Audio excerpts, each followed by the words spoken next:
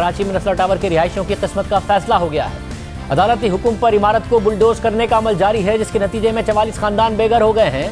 वो किसी मुतबादल इंतज़ाम के बगैर अपने कीमती सरमाए से भी महरूम हो गए हैं और ना ही उन्हें अपनी रकम वापस मिल रही है।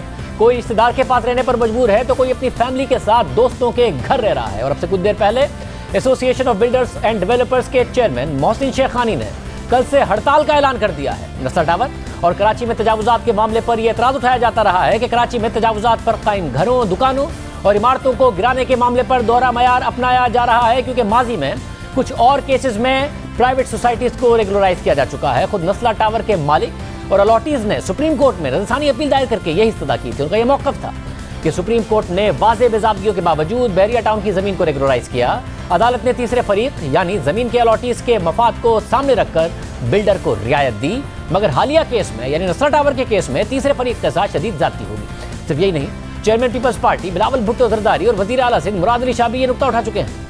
वो जो इंसाफ का अदारा है, जिसको हर शहरी का हक को तहफुज दिलवाना है, वहाँ आवाम को कुछ नारे लगाने पड़े बचा दिया भारिया टाउन और गिरा दिया औरंगी टाउन बचा दिया बनी गाला। और गिरा दिया गुजर नाला सुप्रीम कोर्ट का एक ऑर्डर होगा वो हम पाबंद हैं ओबे करने के। कल बिलावल भुट्टो जरदारी साहब ने जो बात की थी कि ये हमें मंजूर नहीं है कि बनी गाला तो रेगुलराइज हो जाए और गुजर नाले को तोड़ा जाए। जब तक कि उनको प्रॉपर रिहेबिलिटेट नहीं कर दिया जाए। उस पार्टी के अलावा एमके पाकिस्तान भी सुप्रीम कोर्ट से शिकवा कर चुकी है। बहरिया टाउन के ऊपर जुर्माना लगाकर उसको तो कानूनी शक्ल इख्तियार करने की इजाज़त दे देते हैं। आप बनी गाला के ऊपर भी जो है वो जुर्माना लगाते हैं और उसको भी रेगुलराइज कर देते हैं। तो भाई, कराची के शहरियों ने क्या कसूर किया है? अगर इनसे कोई गलती हो भी गई है तो आप उनके ऊपर जुर्माना लगा दें, उनकी जगह कम अज़ कम उनके सरों से उनकी छतें ना छीनें। जिस वक्त अदालत ने यह अहकाम जारी किए थे। तब से ही सुप्रीम कोर्ट से यह मुतालबा किया जाता रहा कि माजी की तरह कोई ऐसा हल निकाला जाए जिससे मुतासरीन को बेघर होने और बेरोजगार होने से बचाया जा सके। मगर माजी की तरह कोई हल तो नहीं निकाला गया अलबत् बिल्डिंग को गिराने के तरीकाकार का तयन न होने की वजह से कुछ वक्त ज़रूर लगा। इस दौरान मुतासरीन को अपनी ज़िंदगी के मुश्किल तरीन हालात से गुजरना पड़ा। वो हर मुमकिन कोशिश करते रहे कि किसी को उन पर रहम आ जाए और उन्हें बेघर होने से बचा लिया जाए। अगर नसर टावर गिराया जाए तो अदालती अहकाम के तहत उनकी रकम की अदायगी भी यकीनी बनाई जाए, वो ये मुतालबा करते रहे, मगर उनकी तमाम उम्मीदें और तमाम मुतालबात बेसूद साबित हुए। मगर दिलचस्प बात यह है कि माजी में ऐसी कई मिसालें सामने आ चुकी हैं जहाँ पर अदालत ने या फिर हुकूमत ने ऐसी हाउसिंग स्कीम और प्रोजेक्ट्स को रियायत दी, जिन्हें मुख्तलिफ़ कानूनी पेचीदगियों का सामना था और उन्हें बुलडोज करने की सूरत में उन लोगों के सबसे ज़्यादा मुतासर होने का खदशा था, जिन्होंने इन प्रोजेक्ट्स में ज़मीन या फिर घर खरीद रखे थे। जनवरी 2019 में सुप्रीम कोर्ट का एक ऐसा ही फैसला सामने आया। उस वक्त के चीफ जस्टिस साकिब निसार की सरबराही में कायम तीन रुकनी बेंच ने इस्लामाबाद में वन कॉन्स्टिट्यूशन एवेन्यू को रेगुलराइज करते हुए ग्रैंड हयात अपार्टमेंट्स पर सत्रह अरब रुपए का जुर्माना आयद करके उसकी लीज बहाल कर दी थी, जिससे पहले सीडीए यानी कैपिटल डेवलपमेंट अथॉरिटी और फिर बाद में इस्लामाबाद हाई कोर्ट कई की बुनियाद पर मनसूख कर चुकी थी। सीडीए ने 2016 में लीज मनसूख करते हुए मौका अख्तियार किया था कि लीज की शराइत के मुताबिक इस प्लॉट पर फाइव स्टार होटल और सर्विस अपार्टमेंट तामीर किए जाने थे, मगर बिल्डर्स ने लीज की शराइत की खिलाफवर्जी करते हुए प्लॉट पर रिहायशी अपार्टमेंट तामीर किए और उन्हें बेच भी दिया। सीडीए के फैसले के खिलाफ मुतल बिल्डर्स ने इस्लामाबाद हाई कोर्ट से रुजू किया, मगर इस्लामाबाद हाई कोर्ट से भी बिल्डर्स की दरख्वास्त मुस्तरद कर दी गई और लीज की मनसूखी से मुतालिक सीडीए का फैसला बरकरार रखा गया।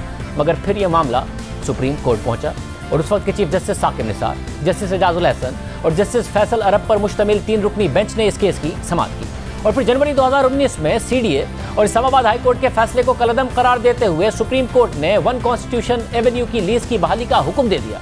चीफ जस्टिस साकिब निसार ने सवाल उठाया कि स्ट्रक्चर के दो टावर तामीर हो चुके हैं। लोग अपार्टमेंट्स भी खरीद चुके हैं। सीडीए ने तेरह साल से ये एतराजा क्यों नहीं उठाए, जब ये टावर तामीर किया जा रहा था? द न्यूज़ में शाया होने वाली साफी उमर चीमा की खबर के मुताबिक लीज की बहाली का मुख्तर फैसला सबक चीफ जस्टिस साकिब निसार ने अपनी रिटायरमेंट से सिर्फ़ एक हफ़्ता कबल जारी किया था। और अब तीन साल गुजरने के बाद भी इसका तफसीली फैसला जारी नहीं हुआ। खबर के मुताबिक, कराची में तजावजात के खिलाफ केसेस की समाप्त करने वाले बेंच में शामिल जस्टिस एजाजुल एहसन भी उस बेंच का हिस्सा थे, जिसने ग्रैंड हयात अपार्टमेंट्स की लीज बहाल की थी। अहम बात यह है कि ग्रैंड हयात अपार्टमेंट्स में खुद वज़ीर आज़म इमरान खान, सुप्रीम कोर्ट के एक सबक जज और ब्रोकरेट समेत कई अहम और बाअसर शख्सियात ने फ्लैट खरीद रखे सिर्फ़ यही नहीं सुप्रीम कोर्ट बनी गाला में भी गैर कानूनी तमीरत की रेगुलराइजेशन का हुक्म दे चुकी है और गुजशत साल दिसंबर में जुर्माने की अदायगी के बाद वजी अजम इमरान खान की रिहाइशगाह को रेगुलराइज किया जा चुका है। ये मामला 2017 में उस वक्त सामने आया था, जब एक केस की समाप्त के दौरान सुप्रीम कोर्ट को यह पता चला कि इमरान खान का बनी गाला में मौजूद घर सीडीए के कवानीन की खिलाफ वर्जी करते हुए तामीर किया गया है, जिस पर अदालत ने यह हुक्म दिया कि इमरान खान जुर्माना अदा करके बेजाबगियों को दुरुस्त करें। फिर अक्टूबर 2018 में बनी गाला में तजावजात से मुतालिक एक और केस की समाप्त के दौरान उस वक्त के चीफ जस्टिस साकिब निसार ने रिमार्क दिए थे कि बनी गाला को रेगुलराइज करना हुकूमत का काम है। सबसे पहले रेगुलराइजेशन की फ़ीस वज़ीर आज़म को अदा करना होगी। इमरान खान सबसे पहले रेगुलराइजेशन की रकम जमा कराएँ। सबक चीफ जस्टिस ने यह भी कहा कि बनी गाला में तामीरात टाउन प्लानिंग की खिलाफ वर्जी करके हुई हैं, मगर अब उन्हें गिराना दुरुस्त नहीं होगा। फिर इस समाज के अगले ही माह वज़ीर आज़म इमरान खान ने अपनी रिहाइश गाह की रेगुलराइजेशन के लिए सी डी ए में दरख्वास्त जमा करा दी। फिर जनवरी दो हज़ार उन्नीस में वजारत दाखिला ने बारह अरकान पर मुश्तमिल एक कमीशन तश्ल दिया, जिसने इस्लामाबाद में गैर कानूनी तमीरत की रेगुलराइजेशन से मुतल सिफारिशा तैयार की और नए कवायद जवाब मंजूर कराए और फिर दिसंबर दो हज़ार बीस में वजी अजम इमरान खान ने बनी गाला में अपनी रिहाइश गाह की रेगुलराइजेशन के लिए बारह लाख रुपए से ज़्यादा जुर्माना अदा किया और यू कैपिटल डेवलपमेंट अथॉरिटी ने नए कवानीन के तहत वजी अजम की रिहाइश गाह को रेगुलराइज कर दिया, जबकि इस कानून के तहत बनी गाला में मस्जिद की इजाजतों को भी रेगुलराइज किया गया।